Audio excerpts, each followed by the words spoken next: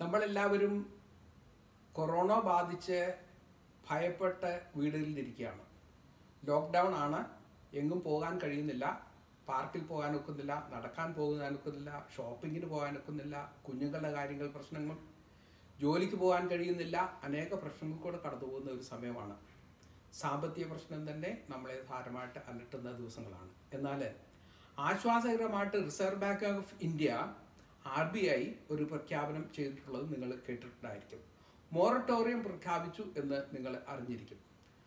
നിങ്ങൾ ഏതെങ്കിലും ഒരു ബാങ്കിൽ നിന്ന് ലോൺ എടുത്തിട്ടുണ്ടായിരിക്കാം. നിങ്ങളുടെ കൃഷി ആവശ്യത്തിനോ ബിസിനസ്സിനോ കുഞ്ഞുങ്ങളുടെ വിദ്യാഭ്യാസത്തിനോ വേണ്ടി എടുത്തിരിക്കുക ലോൺ ആയിരിക്കാം. അല്ല എങ്കിൽ നിങ്ങൾ ഒരു കാർ വാങ്ങിക്കാനോ വീട് വാങ്ങിക്കാനോ അല്ലെങ്കിൽ ലാപ്ടോപ്പ് വാങ്ങിക്കാനോ മൊബൈൽ വാങ്ങിക്കാനോ എടുത്തിരിക്കുന്ന ലോൺ ആയിരിക്കാം. ഏത് ലോൺ ആയിരുന്നാലും അതിന്റെ ഇ എം ഐ തക്ക സമയത്ത് അടയ്ക്കേണ്ട ആവശ്യമുണ്ട്. അല്ല എങ്കിൽ നിങ്ങൾക്ക് ഒരു ക്രെഡിറ്റ് കാർഡ് ഉണ്ടായിരിക്കാം. ആ ക്രെഡിറ്റ് കാർഡിന്റെ പേയ്മെന്റ് തക്ക സമയത്ത് നിങ്ങൾക്ക് കൊടുക്കേണ്ടതായിട്ടുള്ള ആവശ്യമുണ്ട്. എന്നാൽ ആർ ബി ഐ പറയുന്നു നിങ്ങളുടെ കയ്യിൽ കാശില്ല എങ്കിൽ അടുത്ത മൂന്ന് മാസത്തേക്ക് നിങ്ങൾ ആ തുക അടയ്ക്കേണ്ട ആവശ്യമില്ല എന്ന് പറയുന്നു. ഇത് ആപ്ലിക്കബിൾ ആയിട്ടുള്ളത് മാർച്ച് ഒന്നാം തീയതി മുതൽ മെയ് മാസം മുപ്പത്തി ഒന്നാം തീയതി വരെയുള്ള ദിവസങ്ങളിലേക്കാണ്. എന്നാൽ ഈ തുക കൊടുക്കണ്ട എന്നല്ല. അത് വളരെ ശ്രദ്ധിക്കേണ്ട ആവശ്യമുണ്ട്. നിങ്ങളുടെ കയ്യിൽ കാശില്ല എങ്കിൽ അടുത്ത മൂന്ന് മാസത്തേക്ക് നിങ്ങൾ ആ പൈസ കൊടുക്കണ്ട. താമസിച്ചു കൊടുത്താൽ മതി എന്ന് മാത്രമേ അതിന് അർത്ഥമാകുന്നുള്ളൂ. എന്നാൽ നിങ്ങൾ ശ്രദ്ധിക്കേണ്ട ഒരു കാര്യമുണ്ട്. ഇതിന്റെ പിന്നിൽ നിങ്ങൾ ശ്രദ്ധിക്കാതിരിക്കുന്ന ഒരു കെണി ഉണ്ടായിരിക്കാം. പലിശ കൊടുക്കണം. പലിശയ്ക്ക് പലിശയും കൊടുക്കണം. അതുകൊണ്ട് കാശ് നിങ്ങളുടെ കയ്യിൽ ഉണ്ടെങ്കിൽ തീർച്ചയായിട്ടും നിങ്ങൾ തക്ക സമയത്ത് ഇ എം ഐ പേ ചെയ്തുകൊണ്ടിരിക്കണം. ഇല്ല എങ്കിൽ നിങ്ങൾക്ക് വലിയ നഷ്ടം അതിൽ ഉണ്ടാകുവാൻ സാധ്യതയുണ്ട്. അത് മുഴുവൻ തുകയും കൊടുക്കാനായിട്ട് നിങ്ങളുടെ കയ്യിൽ കാശ് തികയുന്നില്ല എങ്കിൽ എന്ത് ചെയ്യണം? ഏത് ടേം ലോണിലാണ് കൂടുതൽ പലിശയുള്ളതെന്ന് മനസ്സിലാക്കി അതിന്റെ പൈസ ആദ്യമായിട്ട് കൊടുക്കണം. നിങ്ങൾക്കൊരു ക്രെഡിറ്റ് കാർഡ് ഉണ്ടെങ്കിൽ തീർച്ചയായിട്ടും അതിന്റെ പേയ്മെന്റ് ആദ്യമേ കൊടുക്കേണ്ട ആവശ്യമുണ്ട്. കാരണം ക്രെഡിറ്റ് കാർഡിന്റെ പലിശ എന്ന് പറയുന്നത് മുപ്പത്തി ആറ് മുതൽ നാൽപ്പത്തി മൂന്ന് ശതമാനം വരെയാണ്. അതൊരു വലിയ തുകയാണ്. അതുകൊണ്ട് കയ്യിൽ അല്പമെങ്കിലും കൈസ ഉണ്ടെങ്കിൽ തീർച്ചയായിട്ടും നിങ്ങൾ ക്രെഡിറ്റ് കാർഡിന്റെ പേയ്മെന്റ് കൊടുത്തിരിക്കണം. ഇതിലെ നേട്ടം എന്തൊക്കെയുണ്ട്? കയ്യിൽ കാശില്ല എങ്കിൽ കൊടുക്കണ്ട. പിന്നെ നിങ്ങൾക്ക് ക്രെഡിറ്റ് സ്കോർ അല്ലെങ്കിൽ സിവിലിൽ നിങ്ങൾക്ക് പ്രശ്നം ഉണ്ടാകത്തില്ല. ലേറ്റ് പേയ്മെന്റ് ഫീസ് നിങ്ങൾക്ക് ആപ്ലിക്കബിൾ ആയിട്ട് ഉണ്ടാകത്തില്ല. എം പി എ നിങ്ങളെ അഫക്റ്റ് ചെയ്യത്തില്ല. ഇത് നിങ്ങൾക്കുണ്ടാകുന്ന ഒരു നേട്ടമാണ്.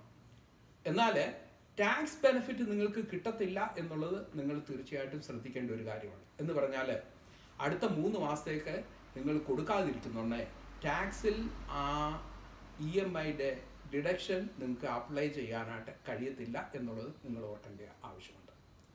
ഇനിയും ഏതൊക്കെ ബാങ്കുകൾക്കാണ് ഇത് ബാധകം ആയിരിക്കുന്നത് എന്നുള്ളത് ശ്രദ്ധിക്കേണ്ട ആവശ്യമുണ്ട്. ആർ ബി ഐയുടെ കീഴിലുള്ള എല്ലാ ബാങ്കുകൾക്കും ഇത് ബാധകമാണ്. അത് പബ്ലിക് സെക്ടർ ബാങ്ക് ആയിരിക്കാം പ്രൈവറ്റ് സെക്ടർ ബാങ്ക് ആയിരിക്കണം അല്ല എങ്കിൽ കോപ്പറേറ്റീവ് ബാങ്ക് ആയിരിക്കാം അല്ലെങ്കിൽ എൻ ബി എഫ് സിയുടെ കീഴിലുള്ള ഏതെങ്കിലും ബാങ്ക് ആയിരിക്കാം. എല്ലാ ബാങ്കുകൾക്കും ഇത് ആപ്ലിക്കബിൾ ആണ് എന്നുള്ളത് നിങ്ങൾ മനസ്സിലാക്കേണ്ട ആവശ്യമുണ്ട്. പിന്നീട് മറ്റൊരു കാര്യം നിങ്ങൾ മനസ്സിലാക്കേണ്ടത് റേറ്റ് ഓഫ് ഇൻട്രസ്റ്റ് ഡിഫറെന്റ് ആണ്. ഇതിന്റെ ബാങ്കുകൾക്കുള്ള റൂളും ഡിഫറെന്റ് ആണ് എന്നുള്ളത് നിങ്ങൾ മനസ്സിലാക്കേണ്ട ആവശ്യമുണ്ട്. അതുകൊണ്ട് നിങ്ങൾ ഏത് ബാങ്കിൽ നിന്ന് ലോൺ എടുത്തിട്ടിരിക്കുന്നോ ആ ബാങ്കിനെ നിങ്ങൾ തീർച്ചയായിട്ടും കോണ്ടാക്ട് ചെയ്യണം. അവരോട് നിങ്ങളുടെ സത്യാവസ്ഥ പറയണം. നിങ്ങൾ കൊടുക്കാൻ ആഗ്രഹിക്കുന്നുണ്ടോ? അതോ കൊടുക്കാൻ നിങ്ങൾക്ക് കഴിയത്തില്ലയോ എന്നുള്ളത് പറഞ്ഞിട്ട് അവരുടെ റൂൾ മനസ്സിലാക്കി യുക്തമായിട്ടുള്ള തീരുമാനങ്ങൾ നിങ്ങൾ എടുക്കേണ്ട ആവശ്യമുണ്ട്. ഒരിക്കലും നിങ്ങൾ വെറുതെ ഇരിക്കരുത്. വെറുതെ ഇരുന്നാൽ നിങ്ങൾ വലിയ പ്രശ്നത്തിലേക്ക് കടന്നു പോകാനായിട്ട് ഇടയാവും. പിന്നീട് മറ്റൊരു കാര്യം നിങ്ങളുടെ ശ്രദ്ധയിലേക്ക് പെടുത്തുവാനായിട്ട് ഞാൻ ആഗ്രഹിക്കുന്നത്. നിങ്ങൾ വിചാരിക്കുന്ന മൂന്ന് മാസത്തെ ഡിലേ കൊണ്ട് വലിയ കുഴപ്പമൊന്നുമില്ല വലിയ സാമ്പത്തിക നഷ്ടമൊന്നും പലിശ ഇനത്തിൽ വരത്തില്ല എന്നുള്ളതാണ്. അതിനെപ്പറ്റിയുള്ളൊരു ചാർട്ട് ഞാൻ നിങ്ങൾക്ക് കാണിക്കുവാനായിട്ട് പോവുകയാണ്. അത് കാണുമ്പോൾ നിങ്ങൾ വളരെ കണ്ണു തുറന്ന് ശ്രദ്ധിക്കേണ്ട ആവശ്യമുണ്ട്. അതനുസരിച്ച് നിങ്ങളൊരു തീരുമാനം എടുക്കേണ്ട ആവശ്യമുണ്ട്.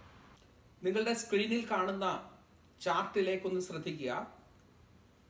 അമ്പതിനായിരം രൂപ ഇ എം ഐ കൊടുക്കേണ്ട ഒരു സാഹചര്യം നിങ്ങൾക്ക് ഉണ്ട് എങ്കിൽ അതിന്റെ പലിശ എട്ടര ശതമാനം ആണ് എന്നും നിങ്ങൾ കരുതുക. അടുത്ത മുപ്പത്തി ആറ് മാസത്തേക്ക് ആണ് നിങ്ങൾ ഇ എം ഐ പേ ചെയ്യാനായിട്ട് ബാക്കിയുള്ളത്. അങ്ങനെയാണെങ്കിൽ നാം പെട്ടെന്ന് ചിന്തിക്കുന്നത് മുപ്പത്തി ആറും മൂന്നും മുപ്പത്തി ഒൻപത് മാസം നിങ്ങൾക്ക് ഇ എം ഐ അടയ്ക്കണം എന്നാണ് നിങ്ങൾ ചിന്തിക്കുന്നത്. എന്നാൽ എട്ടര ശതമാനം വെച്ച് പലിശ പലിശയോടെ കൂടുന്നുണ്ടേ മുപ്പത്തി ആറും മൂന്നും മുപ്പത്തി ഒമ്പതും ഒന്നും നാൽപ്പത് മാസം നിങ്ങൾ ഇ എം ഐ പേ ചെയ്യേണ്ടതായിട്ട് വരും.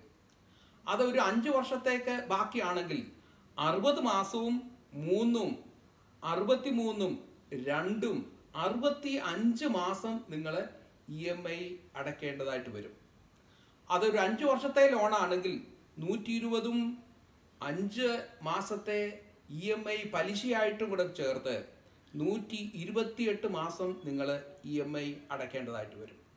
അതൊരു പതിനഞ്ച് വർഷം ബാക്കി ഉള്ളതാണ് എങ്കിൽ എട്ട് മാസത്തെ പലിശയുടെ നിങ്ങൾ ഇ എം ഐ ആയിട്ട് നിങ്ങൾ കൊടുക്കേണ്ടതായിട്ട് വരും. അത് ഇരുപത് മാസം ഇരുപത് വർഷം നിങ്ങൾക്ക് ഉണ്ട് എങ്കിൽ ഇരുപത് വർഷത്തേക്ക് നിങ്ങൾ പതിനഞ്ച് ഇ എം ഐ കൂടുതലായിട്ട് കൊടുക്കേണ്ടതായിട്ട് വരും. അങ്ങനെയാണെങ്കിൽ ഇരുന്നൂറ്റി നാൽപ്പതും മൂന്നും പതിനഞ്ചും കൂടെ കൂട്ടുമ്പോൾ ഇരുന്നൂറ്റി അൻപത്തി എട്ട് മാസം നിങ്ങൾ ഇ എം ഐ കൊടുക്കേണ്ടതായിട്ട് വരും. ഈ ചാർട്ടിൽ നിങ്ങൾ കണ്ട ഫിഗേഴ്സിന്റെ അടിസ്ഥാനത്തിൽ നിങ്ങൾ യുക്തമായിട്ടുള്ള ഒരു തീരുമാനം എടുക്കേണ്ട ആവശ്യമുണ്ട്. ഇത്രയും തുക അധികമായിട്ട് പലിശയായിട്ട് കൊടുക്കാനായിട്ട് നിങ്ങൾ ആഗ്രഹിക്കുന്നുണ്ടോ എന്നുള്ള തീരുമാനം നിങ്ങളാണ് എടുക്കേണ്ടത്. സാമ്പത്തിക പ്രശ്നങ്ങൾ മാറും ഈ കൊറോണ മാറും ലോക്ക്ഡൗൺ മാറും എല്ലാം മാറുവാനായിട്ട് സാധ്യതയുണ്ട്. എന്നാൽ ദീർഘകാല അടിസ്ഥാനത്തിൽ ഇത്രയും വലിയൊരു സാമ്പത്തിക ഭാരം നിങ്ങൾക്കുണ്ടാകും എന്നുള്ളത് വളരെ വ്യക്തമായിട്ട് മനസ്സിലാക്കി ബുദ്ധിയോടുകൂടെ ഒരു തീരുമാനം നിങ്ങൾ എടുക്കേണ്ട ആവശ്യമുണ്ട്. എത്രയും പെട്ടെന്ന് നമ്മുടെ മുമ്പിലുള്ള എല്ലാ പ്രശ്നങ്ങളും മാറുവാനും കൊറോണ മാറിപ്പോകുവാനും ലോക്ക്ഡൗൺ പ്രശ്നം മാറിപ്പോകാനും സാമ്പത്തികമായിട്ടുള്ള പ്രശ്നങ്ങൾ മാറിപ്പോകാനും നോർമലായിട്ടുള്ള ഒരു ജീവിതം നയിക്കുവാനുമായിട്ട് കുടുംബമായിട്ട് സന്തോഷിച്ച് ജീവിക്കുവാനുമായിട്ട് വലിയവനായ ദൈവം നിങ്ങളെ ഓരോരുത്തരെയും സഹായിക്കട്ടെ ലോജിക് സ്കൂൾ ഓഫ് Management.